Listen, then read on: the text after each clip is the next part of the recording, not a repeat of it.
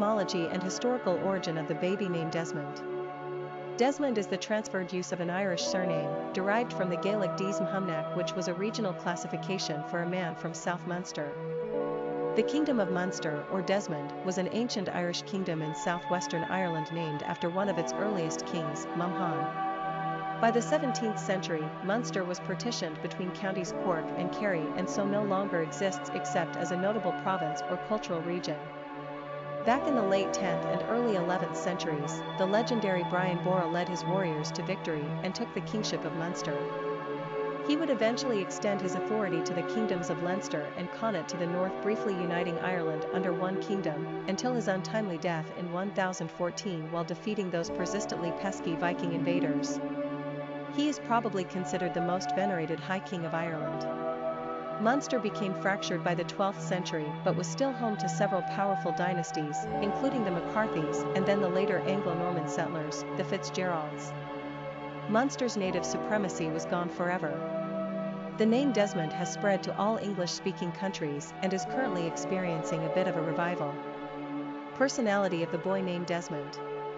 The number 11 is a master number and embodies heightened traits of the two.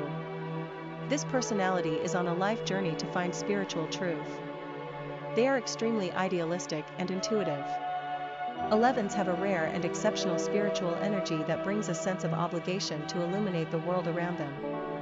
It's a very powerful responsibility, but these people have far more potential than they know. It's important that they surrender to higher ideals. They have the capacity to see the bigger picture, and they possess the skills to inspire others spiritually. 11s have strong diplomatic skills and can become great peacemakers. Master numbers can be both a blessing and a curse, as they walk the fine line between greatness and the potential for self-destruction. Popularity of the boy named Desmond. Desmond rarely appeared on the American naming charts for boys in the early part of the 20th century. However, by the 1960s, the name finally took hold. The usage of the name increased by an average of 300 positions on the charts per decade in the 1960s and 70s, and then seemed to level off in the 1980s. There was one exception, the name Desmond saw a big jump in one year alone, 1985.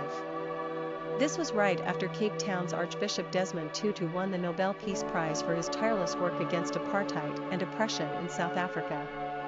By the 1990s, Desmond started slipping down the naming charts again, back down to fairly low levels of usage. However, since 2006, it appears as if Desmond is once again on the upswing. Hard to say where the name will go from here. Desmond is an interesting name, we were surprised to see that it had Irish roots. You don't think of Desmond when you think about Irish male names, like Sean, Seamus, Patrick, Malachi, Kevin or Brian for instance. No, Desmond is more like the name Oscar, where you're like, that's Irish. And did you know that the Beatles song Obladi Oblada, 1968, is about a couple named Desmond and Molly? Paul McCartney wrote the song about an expression he heard from a Nigerian conga playing acquaintance of his, Obladi Oblada, life goes on, brah. Quick facts on Desmond. Gender boy. Origin Celtic. Number of syllables 2. Ranking popularity 330.